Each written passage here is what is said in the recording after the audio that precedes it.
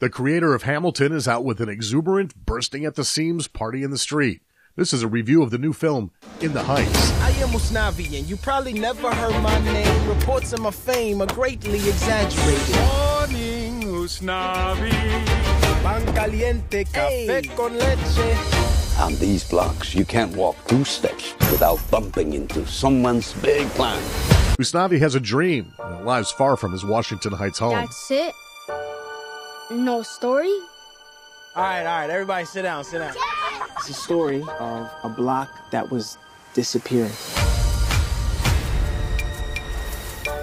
In un barrio called Washington Heights, the streets were made of music. Lin Manuel Miranda's pandemic delayed In the Heights finally makes its way to theaters, packed with genre bending tunes and a huge, talented, and charismatic cast telling a story of community and belonging.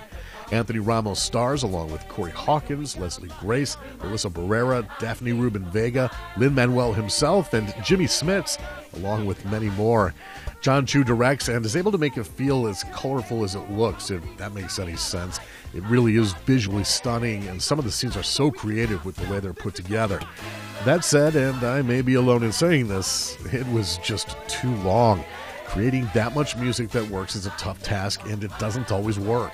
So many times it felt like this big dramatic finale, and it wasn't. I'd also like to ditch the singing dialogue.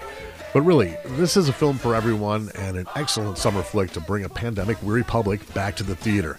And for that, I give In the Heights three and a half stars out of five on the Rob rating scale. You can also check it out on HBO Max, but really, go to the theater.